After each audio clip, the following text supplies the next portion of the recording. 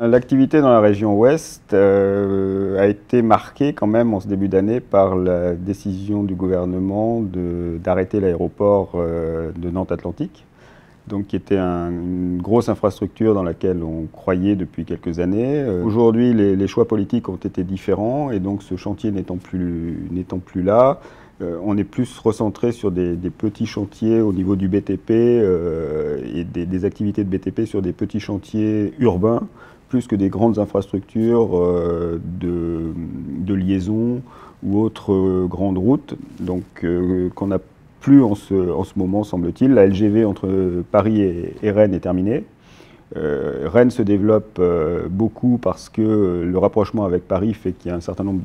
d'implantations qui se font. Nantes un peu moins concernée par ce type d'implantation, mais néanmoins avec une activité très soutenue, euh, très très intense, et mais qui dans laquelle l'activité grand le grand aéroport de l'Ouest euh, n'est plus là, et euh, aussi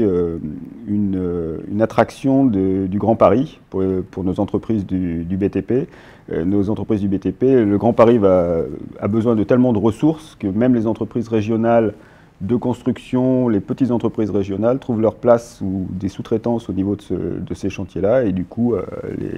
nos entreprises du matériel, elles aussi, peuvent trouver leur place. Sur le plan de, l'activité industrielle de la région, on a euh, par contre là des beaux chantiers, notamment euh, STX, la construction navale, on a des chantiers comme Airbus, donc qui tirent l'activité pas mal, et nos industries agroalimentaires régionales qui sont euh, dynamiques euh, pour l'instant et qui, ont, une belle activité. Donc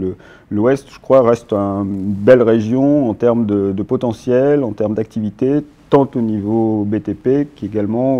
au niveau industriel.